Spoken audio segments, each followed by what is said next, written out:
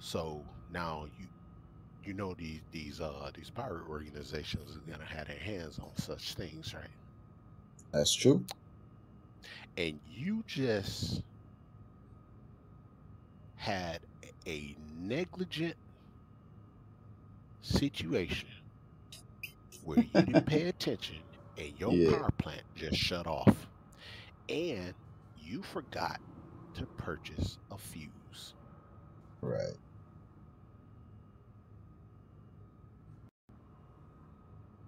And it happened in lawless space. So now you got to send out a beacon, right? Right.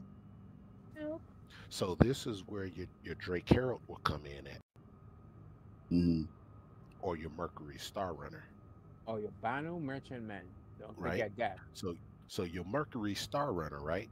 hmm You could send who who who whoever you have uh uh, uh communications with, you could Mhm. send that that signal a message to the Mercury Star Runner, and the Mercury Star Runner can deliver that information to somebody else to say, "Hey, I need." There's a, a message, a SOS message from uh, Commander Phase. He's Mhm. stranded over such and such system. This is he. This is what he needs. Just like in uh, in Elite Dangerous, right? Right. it does this this this gameplay doesn't happen in game it happens outside the game but the players they come in game and do what they need to do. It's called the fuel rats right? The fuel Right. rats is is an organization that where you have to go onto their website tell them what system you're in tell them how much fuel you have hmm and then they give you a list of instructions for you to do. And a player will send you a friend's request you accept Mhm. this friend request and you turn on your uh, your flight beacon hmm and they will be able to find you within any star system that you're in. And this fuel rat he will fly out to any star system that you are that you're in and he will refuel your ship based based off of that request right? Hmm Chris Roberts wants something like that in game. Is instead of you having to come out of game and go into a website to do it, you will have to be able to do that in game with other players or and Right. or NPCs. Because this is the reason why the Drake Herald exists, and this is the Right. reason why the uh, Mercury Star Runner exists. Right.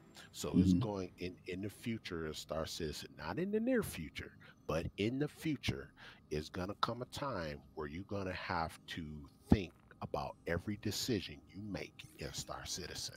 You're gonna Mhm. have to make a calculating decision because you're not in the military. Remember, you are Right. a citizen Yeah. living amongst the stars, operating on your own reconnaissance. So whatever happens to you is Mhm. going to be solely on your responsibility. So you're going to have to make sure that your ship is in its best condition every time you step foot into it, right? Just True. like uh, when when when drivers or semi truck drivers, by law, before they jump into their vehicle, they supposed to do a a uh, a check, a vehicle Right. check, or walk around check all their their tire pressures, check their oils, check their air filters, things of that nature. Make everything sure that this truck is in tip-top shape because this is a very large vehicle and it could do a lot of damage if things is not operating uh, properly. And, and and on top of that, it costs money for this ship Yeah. to be sitting. You see what I'm saying? And not Right. making the company any money. So so that will be the same thing that is going to be required for you as a ship owner, where and and also with your um with your with your living expenses. These are going to be your living expenses, your hmm your cost of living. You see, so the more ships you own, the more houses that you own, the more land that you own, you're gonna have to keep with that uh, upkeep, and there's gonna be degradation with that. You know, Right. when you land your ship in certain areas, there's gonna be wear and tear for that. But if you really think about it, gentlemen, I'm sorry to intervene. If you really think about it, you know what they pro- they'll be promoting to a lot? Organization. Right. See, because in order for all of this to happen, um, the only way you can survive is not on your own, but to be part of an organization. True. That is true. Uh, It's the real world, in in, in a nutshell. You know. Yeah, Says. Sergeant First Class Demon. Um, he says, I know they are going to have drones, but I wonder if they will have something like a repair droid, like as your ship is under attack, you have a fire or a hull breach, you'll send it with the right facts. Facts. There um the Carrack that we know of has a drone station in it. Mhm. Now, one drone, you can. It, it depends on what you set that drone to do, depending on what type of drone that you purchase, right? So you Yeah. can have a drone that will do uh, reconnaissance. You can have a drone that does um, medical triage, or you can have a drone to do salvage, and you can have a drone to do ship repairs. It depends on what type of drone that you that you use. A lot of the ships that are coming, they're gonna um most of your smaller ships you have the handheld devices where you'll eva out of the ship and do the uh, the repairs yourself by hand with the handheld devices. But the Mhm. much larger ships you'll be able to remotely control uh, these repair drones and stuff like that. Now remind you think about it like this. Just because you have the drone and use the drone to do repairs chris roberts don't want you to be able to miraculously repair stuff just by using a drone. He wants you to have the materials on board that you paid for with your money to to do the repairs. He don't want just you to have a drone where Yeah. it's like, oh well, I'm just damaged. I just go get my drone and it just repair it automatically. No, he wants you to have the materials and all the nec- all the necessary uh uh um, items aboard your ship to make the repairs.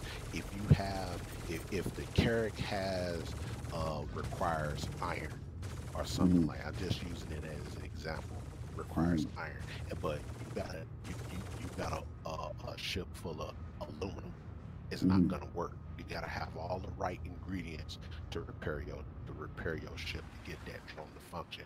Otherwise, you just be flying a a, a, a, a drone for nothing. Right. or you can you can have just like what Lex is saying it be is is very important to be part of an organization because Star Citizen is an organization uh organization based game and and it does a lot of lot of the sh- well, a lot of the gameplay requires for you to be in a team to to to function and and, and operate in a, in a group because we got a lot of um, multi-crew multi-crew ships and Right. in Star Citizen just like in, in, in real life you know it's not what you know in Star Citizen it's who you know Who so you you're know. gonna have to be able to to create uh, relationships and bonds with other players and other and other uh, factions in the game in order for you to be able to uh, utilize their services and and, develop uh, trust and integrity so that you, your survivability in the in the game is uh, uh, more so. Mhm.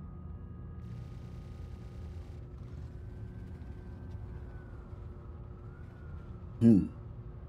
Man. So I agree with you 100%. I agree with you 100%. It's it's gonna like really what we're playing right now is essentially this is literally a tech demo, right? We're just testing certain aspects. Like this is I 100% believe this is nowhere near how the game is actually is meant to be played, you know. And um, you're absolutely right, man. With, with with some of the things that they're coming up with and how they're building things and how they implement things, it looks like they really want to go in and make it a game where you live it, you experience it, not just play. You not know. just play. Yeah. So Already, already that is part of our experience. Like I was telling Armor, to be to go down planet sides and enjoy the the snow caps, enjoy Right. microtech. You know, what I'm saying all the beautiful areas of microtech. You know, already right. that's part of our life in this in the verse. Right.